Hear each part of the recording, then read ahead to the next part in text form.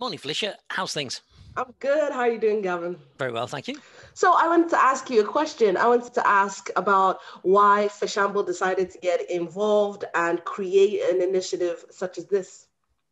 Yeah, so this is the writing for performance uh, course with yourself, and um, I suppose Fishamble are a new play company for whom I'm the literary manager, and uh, we think that the public is best served by a diverse range of voices being heard via the Irish stages, I suppose, like that. And we do actually have a long track record with working with a number of partners and identifying communities where there's stories to be heard uh, that maybe haven't come through yet. So, you know, we've worked uh, in different parts of the country, in all different geographic locations, with youth people, with senior artists, um, with people, arts and disability, and so on. So, we worked with lots of communities along the way.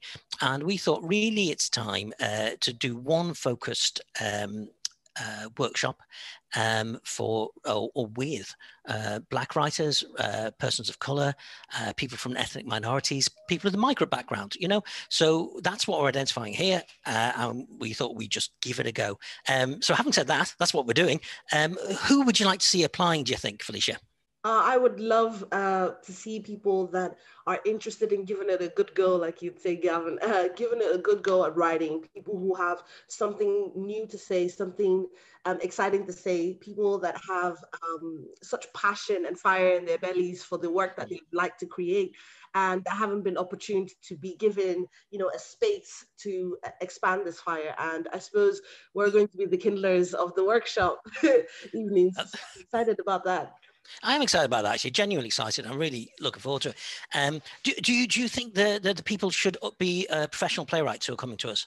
No, not at all. I don't think um, you're required to be a professional playwright. I think if you're just serious enough about your writing to give it a proper go, um, eh, you're absolutely welcome. So definitely, you don't need all the pressure of having to have years and years and reams mm. and reams of um, experience, but you just need to come with a willing, willing mind and a willing heart. Yeah. Great stuff. Well, in that case, I should say the applications are due by March the 7th. So whenever you're seeing this, March 7th, 2021 uh, is when they're due by.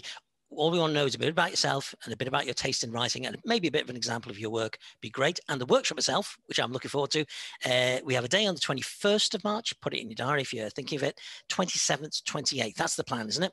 Yeah, absolutely. You have us for two weekends the 21st, the 27th, and the 28th.